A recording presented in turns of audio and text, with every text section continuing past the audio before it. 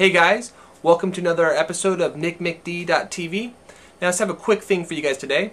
Now I'm a bit of a wallpaper junkie. I have a bunch of them. I mean probably hundreds and hundreds and hundreds of wallpapers.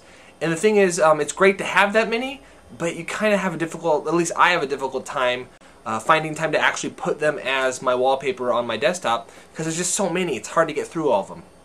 Now I found this really cool script that allows you to pretty much cycle through your wallpapers. You can set it between five minutes to you know however many long hours between cycles. And this allows me to actually view all my wallpapers, and every time like I minimize a window, and I'm like, wow, hey, look, a new wallpaper. It's kind of fun.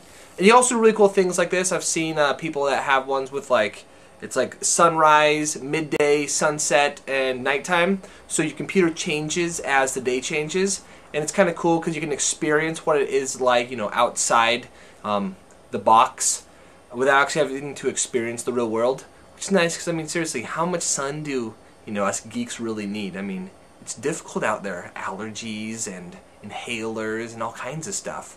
So uh, let's show you guys how to do that. It's pretty cool, pretty simple. Let's dive in. Okay, to get this uh, the script installed is pretty easy. It's a Nautilus script. So you want to go to uh, the URL. I'll provide the link in the sidebar or in the description. Um, then you want to just go down and download the files. Once they're downloaded, you're going to have a TGZ file or a tar GNU zip file. Uh, double click on it and then just click extract. Easy as pie. Um, extract it.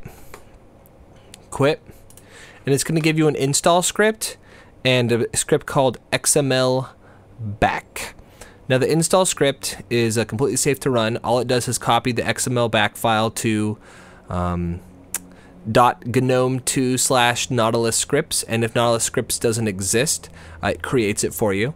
So just click the install script and it will do it all for you. And now that you have it installed, it's really easy to run. Here, let's look at our background. You see, this is our background right now. It's just a, a regular, solid background, nothing magical or special about it. So go into your backgrounds folder, right click, you know, this is Nautilus. Go in your backgrounds folder, right click, and then uh, you see it's going to say scripts now. Then click on XML back, and it says, what is the length of the wallpaper? Now, this is how long the wallpaper is going to stay before it rotates um, in, in minutes. So I have a lot of, I mean, not in this folder, but in my other folder, I have a lot of different wallpapers. So five minutes is good. Um, length of animation, five seconds. Um, I don't really know what this means because it seems to rotate faster than five seconds, but whatever, five seconds is good. What do I want to name it? Eh, background sounds good. And do I want to make this my default background? Sure. Now you can see here it created this file called background.xml all it does is create an XML file with all these different things in there. And uh, as you can see now, we have our new background. And every five minutes, it will rotate to one of the other backgrounds here in this folder. So um, I believe it goes um, from start to finish alphabetically. So if you have any like issues, like you want to like change the order, you're gonna have to change the name, or you can go into the XML file and change that. But we're not really gonna get into that right now. So pretty easy to do, pretty easy. Now you can uh, rotate your backgrounds throughout the day. And uh, yeah, fun stuff. Okay, you guys, uh, if you have any questions or comments, uh, leave them below. And I will get back to you.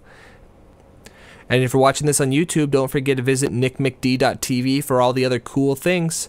Okay, you guys have a good afternoon. Later.